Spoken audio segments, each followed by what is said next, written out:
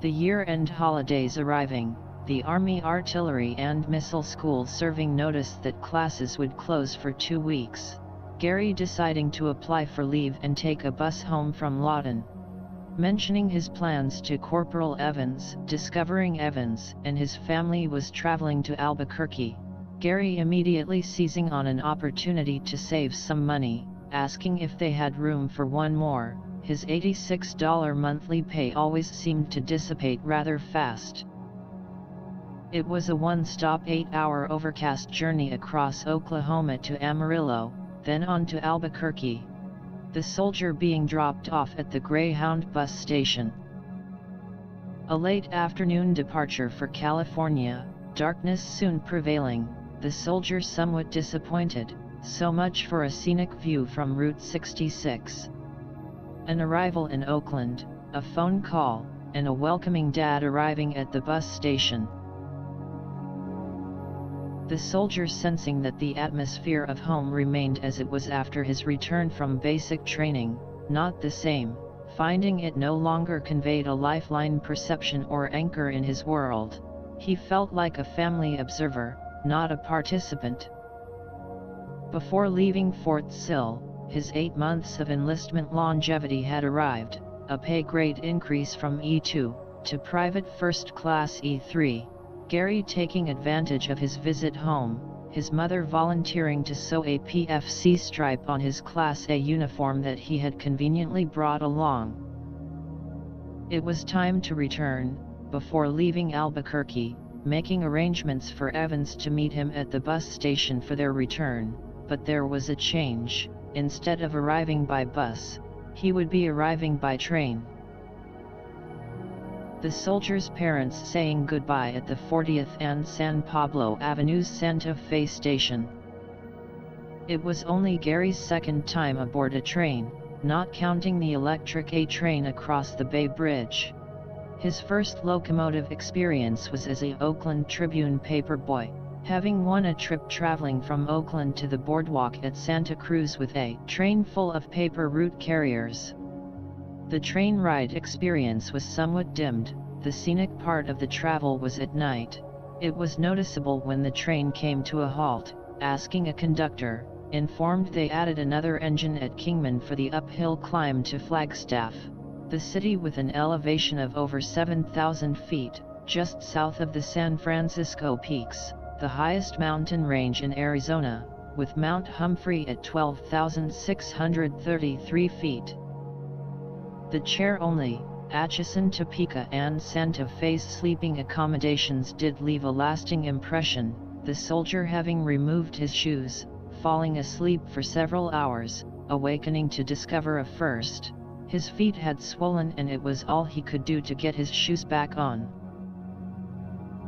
The Corporal Electric Material Maintenance class, SEM-C2 was approaching completion, the class to participate in a field demonstration for visiting foreign VIPs, and the scrambled egg ranked officers of the school command.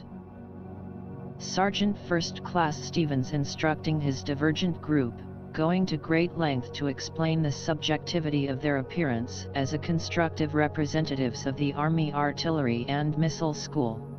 The members of SEM-C2 culminating the curriculum, their class designated as the final graduating link in the program.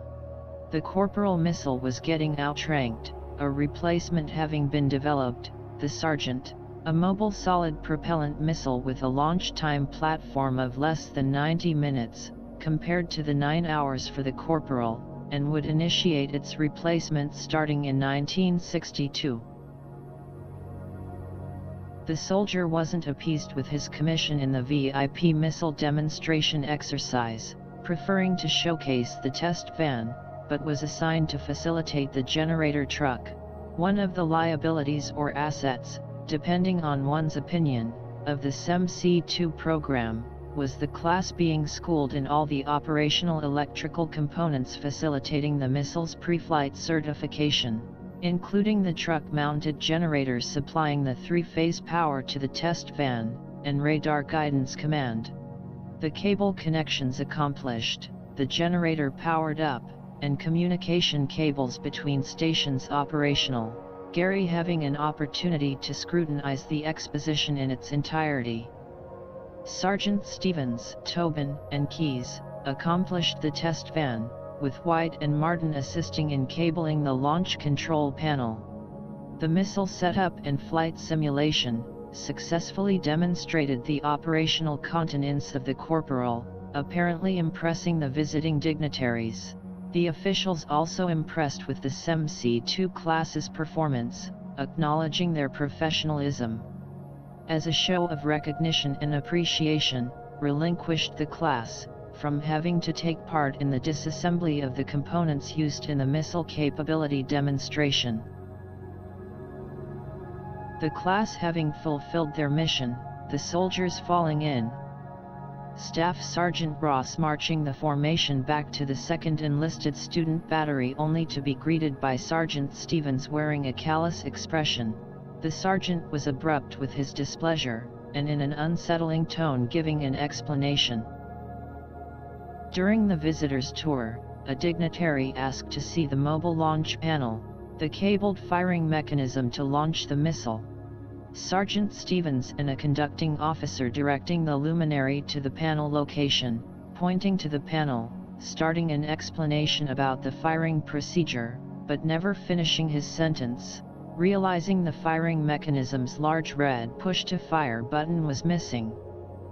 The sergeant stopping his explanation looking directly at Martin. If the red firing button should appear on the battery's duty sergeant's desk in the next 30 minutes, the subject will be forgotten, no questions asked, if not, a full investigation will be made, and heads will roll. All those in the formation understood, Martin's recently acquired 1949 Ford would have to operate without a dashboard push-to-fire button. Nuclear Warheads class commenced, the final posturing in the completion of educational fabric in receiving their 214 Military Occupational Specialty MOS, designated as a Field Artillery Corporal Missile Electric Technician. Gary holding in his hand what resembled a shot put, bestowed at high school track meets, in reality a pound replica of the plutonium found in Fat Man, the Nagasaki atomic bomb. The weapons class instruction was classified secret, giving a whispering intonation to its presentations, the non-spoken word was neutron Nemo initiators the bomb's detonator design having been appropriated and passed on to the Russians in 1945 by Ethel and Julius Rosenberg, who were convicted and sentenced to death in 1951, and electrocuted at Sing Sing Penitentiary in 1953. Gary finding the structural makeup of the atomic bomb very simplistic, the most complex achievement was the development of the 32 NEMO initiators to obtain the perfect implosion. Interesting was the regulating of the bomb's barometer for proper altitude detonation, but even more arresting was the missile's arming circuitry connection to the nuclear device, all inclusive of his MOS responsibility. The final weeks of Warhead School projecting an atmosphere of conclusion, the 10 members of SEM-C2 all having fulfilled their goal, save one of the group, Lombardi, having failed the 33-week educational final and would remain at Fort Sill, reassigned for eight weeks of field artillery training and assigned to a field artillery unit. Gary having some personal thoughts about the past 10 months, questioning the purpose of acquisition, not questioning the reason, but discovering his enthusiasm having dimmed when confronted with fulfillment.